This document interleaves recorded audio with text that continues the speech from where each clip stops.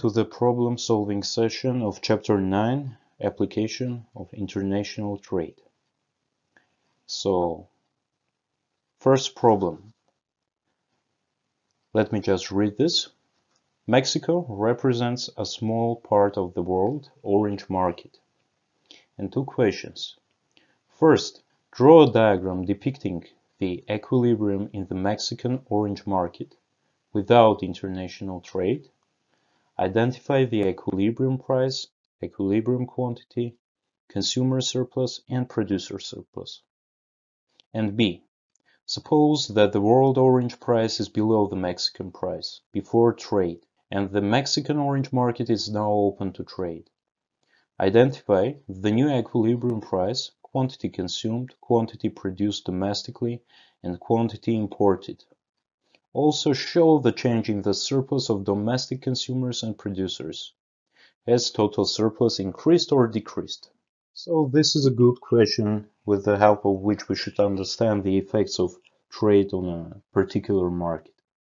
Okay, so let us start with A. Let us graph our supply and demand. So let's say this is our supply and this is our demand and here we have equilibrium. So let's say market is at the point q1 and the equilibrium price is p1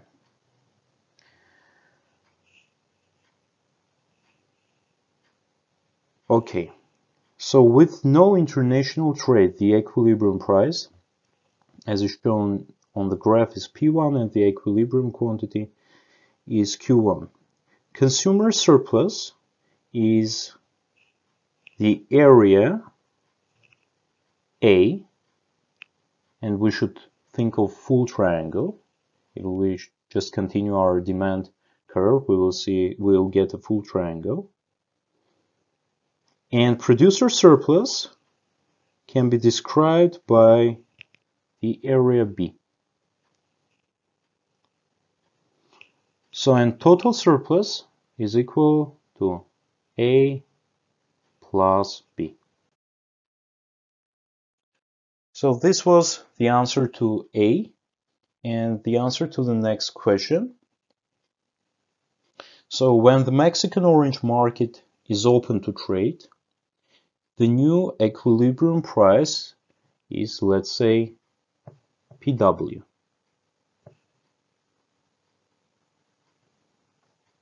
hmm, let's take this as a line. The quantity consumed is QW. So this is our new quantity.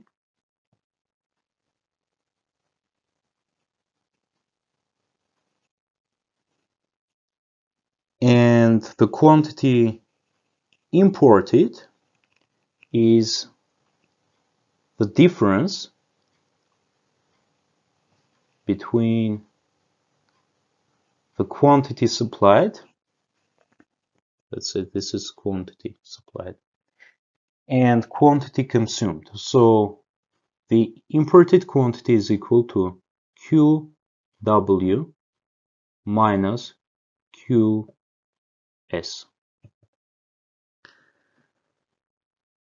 Consumer surplus now actually increased. Let's add some more areas. So these are our new areas. Let's say this is D and this is E. So our consumer surplus now consists of A plus B plus D plus E. Let me just write this down. Consumer surplus is equal to A plus B plus D plus E. And the producer surplus actually decreased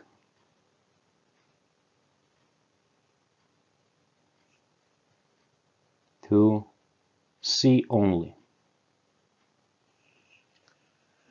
So what happened?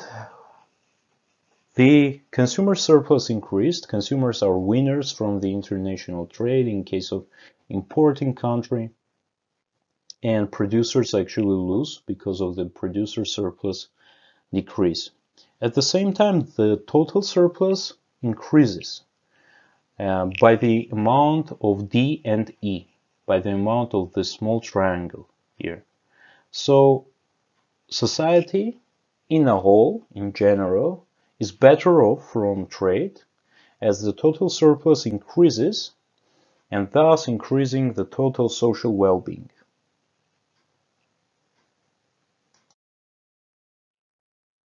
Okay, problem two.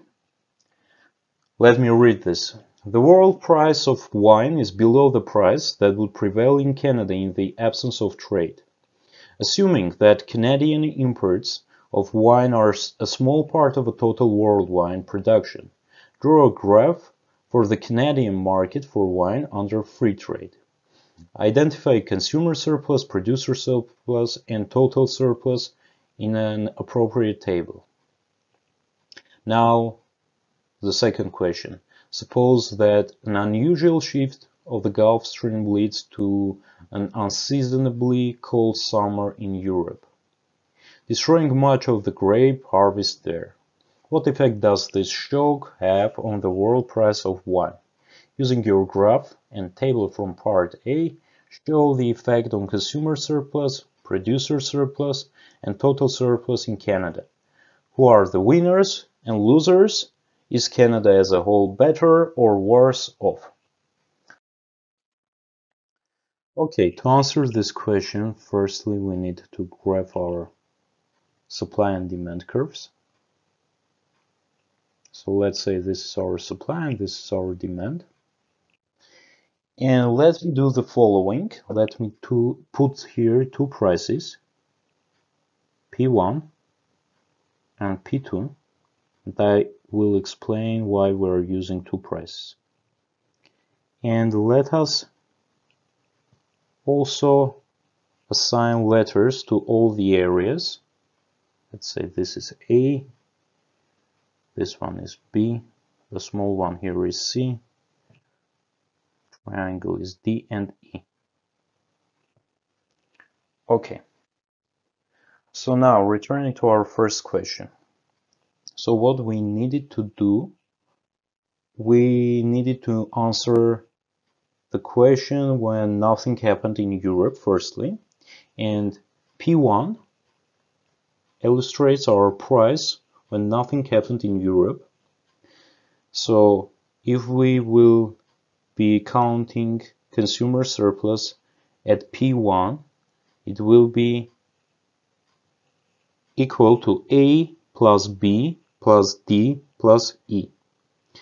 And the producer surplus will be C only, with the total surplus of A plus B plus C plus D plus E. Now, given that there is a shift in the Gulf Stream, which destroys the grape harvest in Europe and raises the world price of wine to P2, now we will have slightly different situation in surpluses if our price is at the point of P2, our consumer surplus will be, if we are at the point of P2, our consumer surplus will consist of only points A and D, and producer surplus will consist of B and C.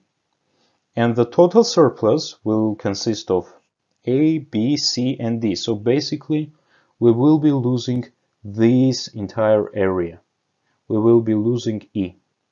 And if we count the change, the total surplus will be A plus B plus C plus D. So we are losing E here. The producer surplus will increase.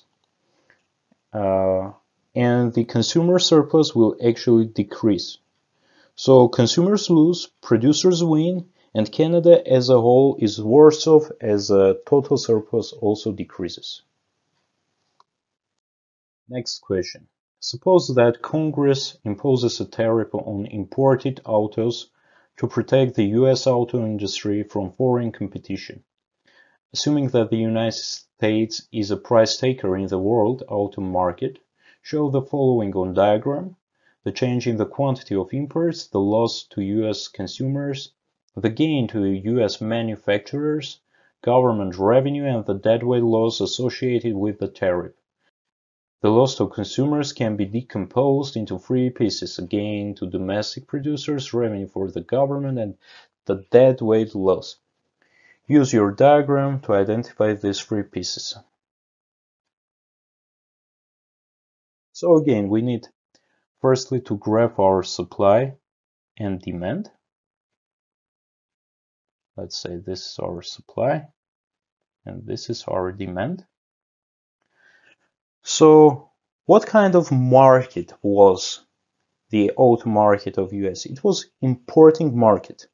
So our initial scenario was we had certain price here, P1, and this was our market with a triangle in the middle representing the portion of imports. Now what happens when the government imposes a tariff? The price goes up to the P2 and now we have this new situation here. So to understand what has happened with the surpluses, we can firstly assign letters to these areas. So A, B, C D E F and G. And why I've separated this part into three letters? Because there is a very clear differentiation between D, E and so let us firstly discuss the surpluses before the tariff. So consumer surplus was obviously all the letters in the triangle, in a big triangle, representing A, C, B, D, E, F. And the producer surplus was presented only by the area G.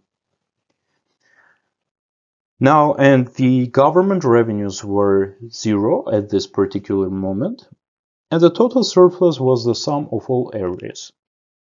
Now, what happened when the government imposed the tariff?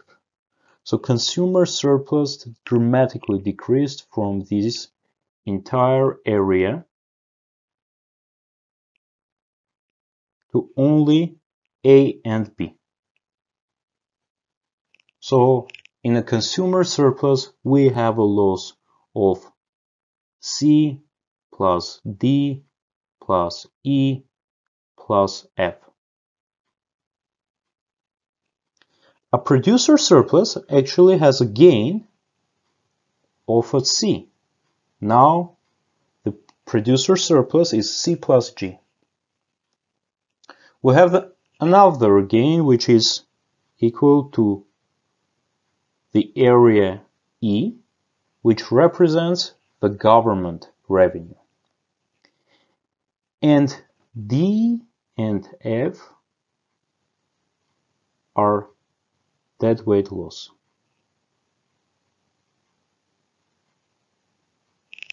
So basically, what's the situation? In a total surplus, we are losing D and F.